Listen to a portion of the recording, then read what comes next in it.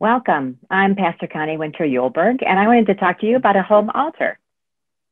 So, a home altar is a place where you can go and that you know that this is a sacred place in your home, in your apartment, wherever you are, in your dorm room, um, that where you pray, read scripture, um, where you read a devotional, um, and where you meditate there's a lot of different things that can be in a home altar. There'd be a, a, lit candle if you're allowed to do that where you're at. I know that some dorms that you can't do that, or if you're in um, in a hospital or if you're in a hotel room, that doesn't work. But there are a lot of other things that do work.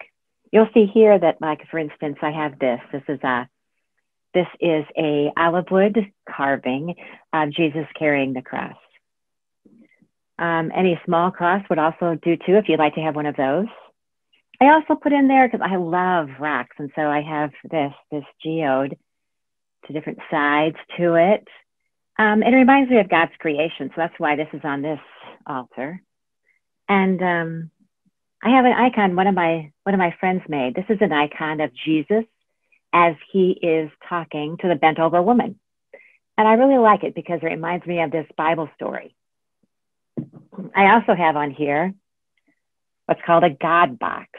And so if I have something special that I'm turning over to God, it seems really heavy on my own shoulders, or something that I don't feel like I can handle at that point, I'm just turning it over to God. And so I write it down on a piece of paper and I put it in this little jar, put the lid on it, and then I put it on my altar. Then I go back and I can take it back out. I can pray about it again. Uh, or I can take it out and say, hmm, okay, God answered that prayer, so I don't need to have it in the God box anymore. This is also a place where uh, your daily devotions can go. Like, for instance, if you use Christ in our home, um, that can be a, a daily devotional that you put here. Also, you might want to put your Gather magazine if that's something that you get. Um, here, I get these from the ELCA. So this one talks about world hunger and also Lutheran disaster response. So those are all really important things to understand, and they provide a whole lot of things that I can pray for. So these are great to be on an altar. So why do you have one?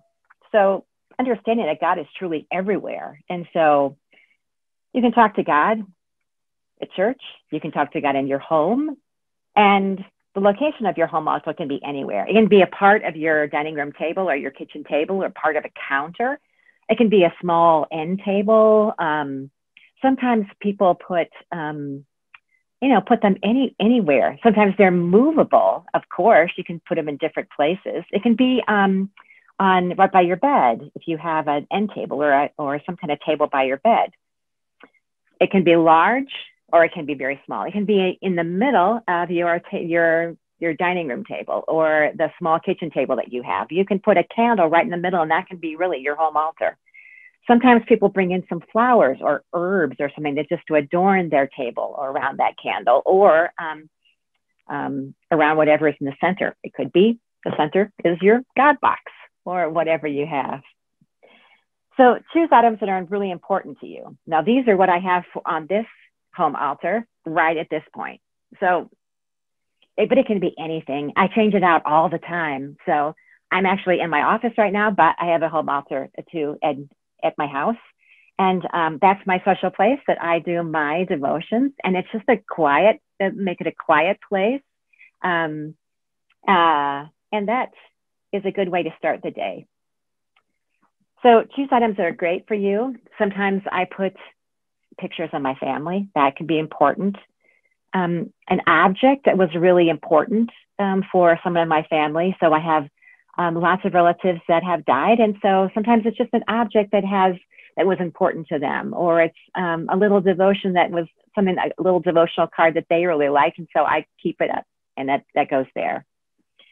So a home altar is a great way to be able to say, okay, this is the place, this is the location in my home that is, that I say that it is for God. And that I remind myself that I am, um, I can go to this spot at any time and I can pray and I can talk to God. Also, a home altar is a great place where you can have some kind of, you can do communion.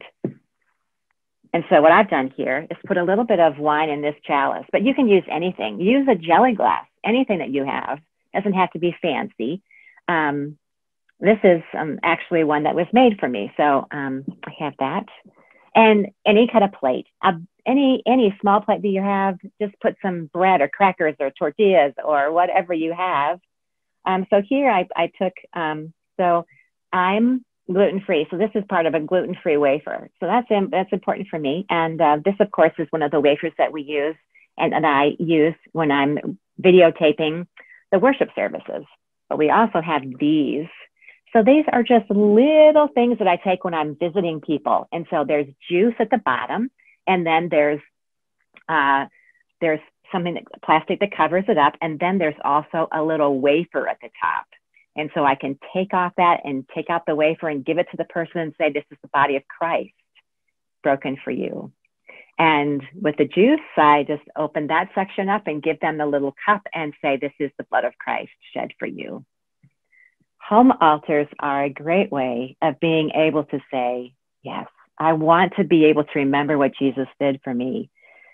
And remember that it is uh, the Reformation taught us that really we are the priesthood of all believers. And so that if you are feeling down, if you're feeling that not connected to God, communion is a good way to just pause and say, wow, let me say those words, those important words that were said. So Jesus took the bread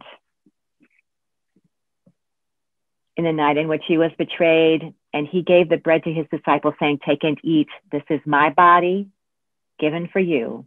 Eat of this in remembrance of me. And then after supper, he took the cup and he gave thanks and gave it for all to drink, saying, This cup is the new covenant in my blood, shed for you and for all people for the forgiveness of sins. Drink of this in remembrance of me.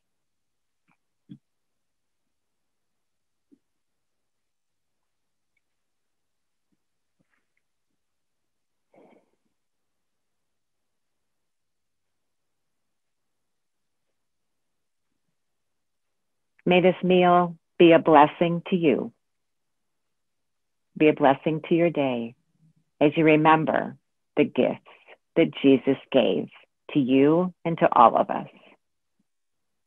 Amen.